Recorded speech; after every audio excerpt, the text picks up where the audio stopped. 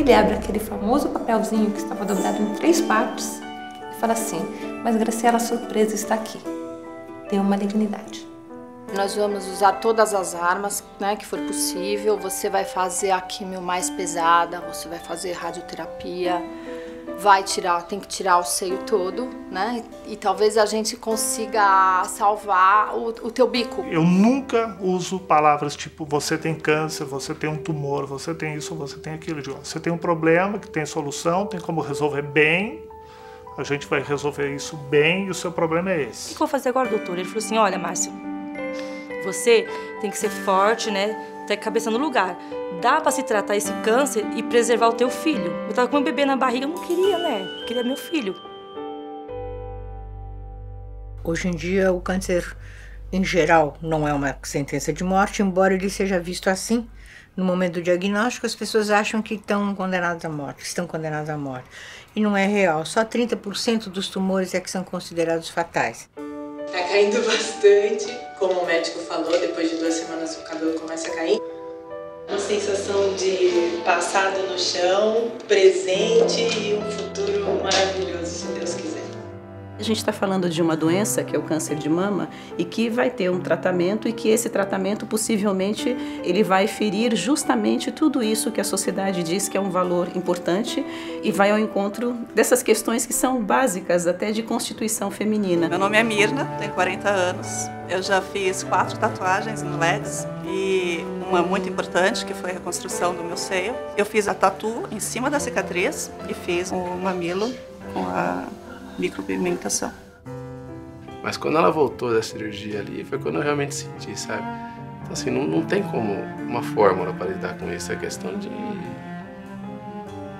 de saber o que você quer. Eu queria ficar com ela. A gente quer um nenê também, né? Vai ter esse cuidado a mais. Fazer um acompanhamento um pouco mais detalhado. Porque como eu sempre trabalhei fora, então eu sempre quis estar guardando na minha mente esses momentos, né? Então aqui eu tenho foto. Uh, eu... A gente ficou com muito medo de perder ela, porque não é fácil, né? Descobrir que a sua mãe tem um câncer de mama. Você pode vencer, levantar essa pessoa e ajudar ela a vencer essa etapa da vida, porque é muito difícil. De verdade é muito difícil eu tive a oportunidade de vivenciar dois tipos de oncologia, a que eu fazia no começo da carreira e que a gente faz hoje com técnicas diferentes, resultados muito diferentes. Já estava escrevendo algumas coisas para minha filha, né? Falei, vou morrer, vou deixar uns escritos para ela. E aí foi quando eu conheci o meu editor. Falei, tô escrevendo um livro. Ele falou assim, é sobre o quê? Eu falei, é sobre o câncer. Ele falou, puxa, que pena, porque minha editora só publica livros de humor. Eu falei, então acho que vai dar tudo certo porque o meu câncer tá super bem humorado. Acho que você vai gostar do meu livro. Aí eu mandei uns capítulos para ele, o livro saiu. É esse aqui, o livro se chama Força na Peruca.